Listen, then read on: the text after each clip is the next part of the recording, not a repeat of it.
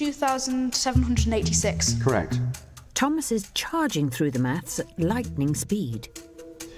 18 point... 6.3. Correct. And Thomas, if you come up to the podium. 12 year old Thomas has a lot riding on this round, having achieved an A grade in his maths A level at the age of just 10. But he's not feeling confident.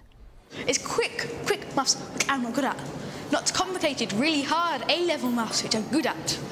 So, I, I, I'm, I have to do well or be really incredibly embarrassed. I've done the years, I've just done them a bit quicker. He did his GCSE maths when he was eight and he got an A star in that. That was very exciting. We went to Morrison's Cafe and I bought him a the Summer Beano special, I think it was. The whole family desperately wants to discover just how bright Thomas actually is. This competition represents an opportunity to satisfy that curiosity about Thomas and his potential. Thomas, 250.7 multiplied by 5 equals? 1,253.5. Correct. 3,214 minus 428 equals? 2,786. Correct. Thomas is charging through the maths at lightning speed. 18 point... 6.3. Correct. Exceeding even his mum's expectations.